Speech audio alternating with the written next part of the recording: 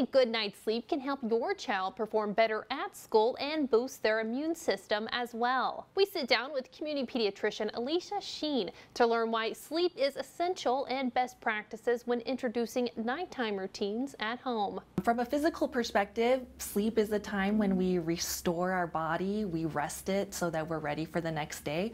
Also, hormones are produced during the nighttime, which are really important for children's growth. Um, it also helps to repair the immune system. So our immune system is stronger when we're getting good sleep. We're able to fight off those colds, germs, viruses, etc. Mentally, it's also extremely important as it's um, important for attention, for learning. So kids are able to concentrate and have better attention span and memory in school when they're having good rest at nighttime.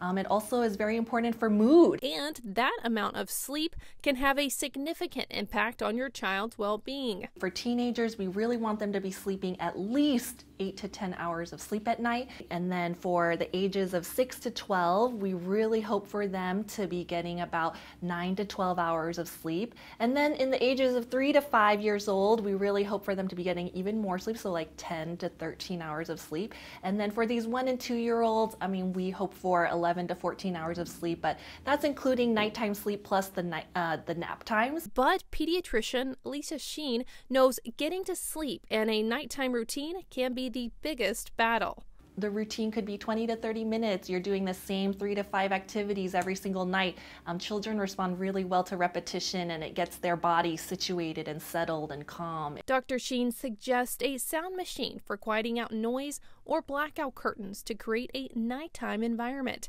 and even reducing screen time one to two hours before bedtime can help induce calm vibes for your child. The blue light is keeping um, our bodies alert and can actually suppress the production of melatonin, making it harder to sleep. If your child has trouble getting to sleep or falling asleep, Dr. Sheen cautions against reaching for over the counter supplements.